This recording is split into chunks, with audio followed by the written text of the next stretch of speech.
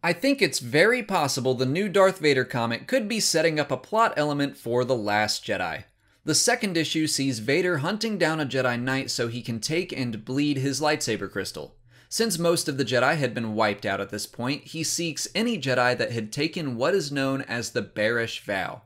The Barash Vow was an oath taken by Jedi who completely refrained from all activities related to their order as a form of penance.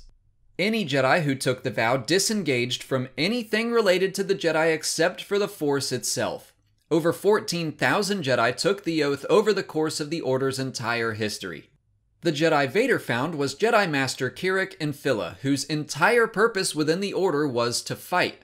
That seems interesting for a Jedi since they're supposed to be guardians of peace, and I guess that's even further proof that the Jedi had lost their way, and maybe that's exactly why Kyrek took the Barash vow he could have come to believe that his purpose was against what the Jedi Order stood for, so he took the vow to distance himself from his past deeds and strengthen his relationship with the Force. So, we've been introduced to this new Jedi concept of isolation and penitence. Gosh, does that sound like anyone else we know? We don't know the full story yet, but according to Han, Luke blamed himself for what happened to his new group of Jedi. He hasn't completely distanced himself from the Jedi since he's hanging out at the supposed First Jedi Temple, but I do think he's punishing himself and probably spending a lot of time meditating on the Force.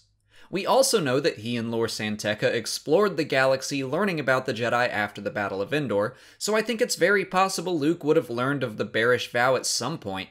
After the fall of his nephew and the loss of his other students, I could see him feeling like he deserved to be isolated. Assuming I'm right about Kirak, maybe all those 14,000 Jedi took the Barash vow because they were having doubts about the Jedi. Maybe Luke researched the other Barash takers and came to believe that the Jedi Order simply didn't work, and that could be why he feels it's time for the Jedi to end.